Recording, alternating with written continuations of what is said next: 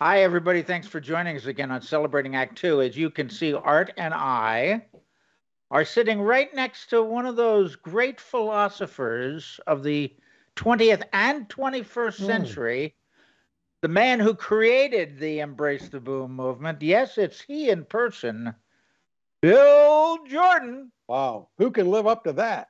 that was my And enter I- man moment. Thanks for having Bill, me. Bill, there are two things I really admire about you. First of all, that you spell your last name correctly with an A.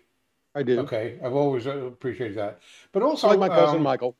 Yes, and we haven't. Uh, uh, we, talk about it from time to time, but I want to thank you. Uh, uh, your embrace the boom book, and we talk about your philosophies all the time. But uh, I uh, I pick it up from time to time, and um, I was um, reading. Um, I have a little mark here. I was reading uh, enhance uh, the boom practice number seven: prioritize and execute and it was uh, particularly important for me. And you have a really uh, pithy way of uh, uh, bringing these things across, not a, a whole bunch of flowery language. It's like, hey, he- here's something that could be important to you, because I know that all of these things were important to you to write down. So I thank you for uh, helping me in, in, embrace things that I sometimes uh, don't spend much time on. Well, a, a lot of this is 15 slash 16, little secret 16th practice Right. in here. uh, and the reason I call them practices and not rules is because we can never perfect these. and I've always loved quotes, motivational quotes and stuff. And they just kept weighing on me after I had retired from radio, and I decided to put it in a book form. I've got a friend who's a who's a publisher. He thought it might be a good idea for a book, and it is pretty succinct. It's a pretty short book. I think you can read it. Well, I know you can read it in under an hour. But the beauty of the book and how I use my own book is I read from it every day. I read a practice from it every day. And it is stuff that we all know that but we don't think about because some of them may be cliches. And I like to think that I may give you a different way to, to think about some of this stuff, whether it be the golden rule or an 80-20 rule and you know, kind of getting into a new year. I, I think at least for me, throughout the year, New Year's, Memorial Day, Fourth of July, Labor Day, even Thanksgiving, and, and then in Christmas, all of these, or even when I'm on vacation, I tend to reset. Where do I think I am? Where do I want to be? Who do I want to be? And what do I what do I have to do to get there? And I, for me, following the practices in my own book, I know that sounds egocentric, but following the practices that I've that I've put down, and I've borrowed from some of the greats. I mean, ancient Stoic philosophers and and other people on through history, and some of my own thoughts. Um, it it just helps me live a better life. And I, I think I am calmer and um, maybe more focused. And I think it's allowed me to, I hope and pray, helping me to become a better example for whether it be my daughter or my grandkids. So. Yeah. Yeah. Mm. You know, Bill, um, i- i- in the beginning of the year, we all fool ourselves into thinking we're going to make a New Year's resolution and, you know, we're going to be better and we're going to do it. And you, uh, you bring up the, a really good point, and that is it's it's a daily process. It's not a beginning of the year process. And uh, I'm up on, let's see, right, my bookmark is number eight in your book right now. Be careful about giving up what you want most for what you want now. Right. Um, it, you know, this is a, a wonderful words to live by on any day, but you're right. Just going through the book, um, using it on a daily basis is a great way to change your life for the better. Yeah, I mean, I, I, I truly believe that. And I, I, it's artistic, but again, it's great. It's from great ideas through time. And cliches are cliches because they're true. We don't think about it anymore. Right. you know, it's Right. not in the book, but birds of, birds of a feather flock together. What does that tell us? You know, you're going to become like the people you hang around. right. So are you going to hang around people who are making you better, or are you going to be brought down to their level? You're going to be brought up to their level. Birds of a feather, uh, you know, flock together. That's a good one for for kids as they're as they're growing up. One that, uh, and I reference it in the book.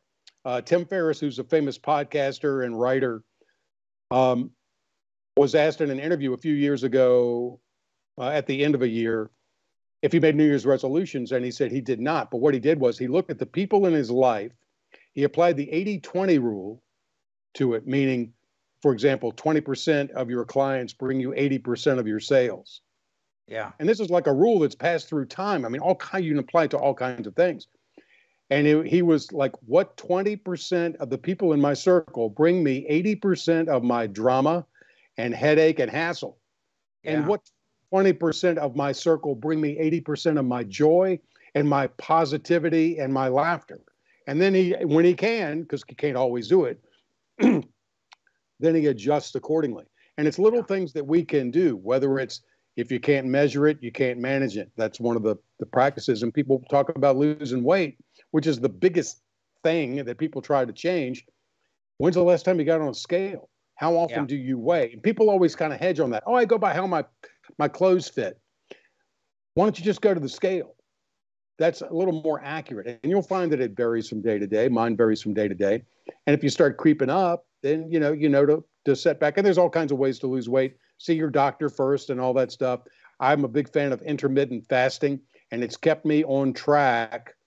Uh, I mean, I ended 2023 weighing less than I began 2023. Yeah. Um, so for me, that's that's a win. You know. Well, the thing the thing I appreciate about your book is that um, it really, you know, these these uh, sayings, if you will, these practices are really, as you point out, kind of cliches, kind of, you know, we've heard them before. But what you've done is you've added a couple of paragraphs of explanation how you interpret them. And that's what it's all about. It's all about making you, making me, the viewer, think about these practices. Um, Everything. that's what we need to do. We need, we need to think about what we're doing. Yeah. Yeah. Yeah. So thank then, you. And then apply it. Yeah, thank you for. Uh, by, by the way, no, no, no. I, to reset I, our I, lives. I, I need the final word on this thing, which which is you know, uh, Bill, you were talking about uh, you know come and John about uh, coming up to the new year and making resolutions and getting to significant times in your life where you may want to just review you know some of the basic things that you're doing or not. I find Thursday, Thursday is a good day for me. So I, I actually I picked this up like almost every 15th Thursday. And uh, there you go. it's, it's, it's nice because it's on my bookshelf. And every so often, I, ju- I just reach for it, take a look at it because we we enjoy our conversations with you, and I and I just take another look, and I I find it remarkable and comforting that you have spent the time to put down things which should be basic for all of us. So thank you for that. Should be. I, I appreciate it. Again, I, am flattered by. I've got a couple of female friends who just keep a copy in, in their purse. I mean, it's kind of small, and they and when they're waiting in line for something, they'll pull it out instead of their phone, and just you know hit a couple of these. It's it, again, you can read it from cover to cover, but I find it best if you just you know pick one a day, yeah, and just work through it, and just and then I, actually then I just rotate it when I get through. I just rotate, and the gist of it at the end, and, I, and I'll let you in on the end of it, is to earn this life by mm-hmm. by living our best lives that we we give we honor our parents who paved the way for us the greatest generation you know in the in the movie private ryan i referenced at the end when when uh, tom hanks character is pulling private ryan in close earned this guys mm-hmm. have died to save him earned right. this and at the cemetery when he is later in life visiting uh, tom hanks the character captain john miller's gravesite there above omaha beach in normandy and he turns to his wife and says tell me I've been a good man. You know, mm-hmm. and she's like, and she doesn't get what's going on. But he's trying to li- trying to live his life in such a way that he earns the sacrifice of those before him. And that's kind of how I look at it with my parents and other members of the greatest generation. Yeah. Through this book, as baby boomers, we need to earn the life that they provided to us, and we need to earn it every day. You know, uh, would you do us a favor and would you uh, uh, uh take us out? With your sure. Well, well, before before you do that, Bill, yeah. it's not fair to the people watching uh, to talk about this without telling them how to get it. Well, you can get it primarily at Amazon.com. They typically are running it like 12% off. It may not be at the time of this showing, but uh, it's been 12%. It's not that expensive a book. I mean, I think you know, a few coffees at a high-end coffee place, and you would have paid for this book. And I think the book will do you a little bit better. So Amazon.com, BarnesandNoble.com. Um, uh, you can get it that way, and then at uh, Bill Jordan EmbraceTheBoom.com, my own website, you can mm. order it there. Amazon's a little better price for you, and it includes the shipping. But this is where you get the the mug, and it's 15, 16 ounces of whatever you want to put in it. Pretty sturdy. And I use this. I have my coffee every morning in this just to again anchor myself in the mindset, as John was talking about, starting with your thinking. Yeah. You, you anchor your day with this mug. You see it every day. It's on both sides. So maybe whoever's sitting across from you reads it. It's of like, what, what's that all about? And you can explain what Embrace the Boom means. That's at Bill Jordan, embracetheboom.com. Free shipping on those, by the way. Okay. So will you will now uh, take us out of this show? And to a toast, yes, for my fellow Amen. baby boomers and wherever you might be in life, forget your age, live your life, and embrace the boom. Here, here. Thanks, guys. For more on Celebrating Act Two, visit our webpage, follow us on Facebook, subscribe to us on YouTube, and tell your friends. Celebrating Act Two is the user manual for the second half of your life.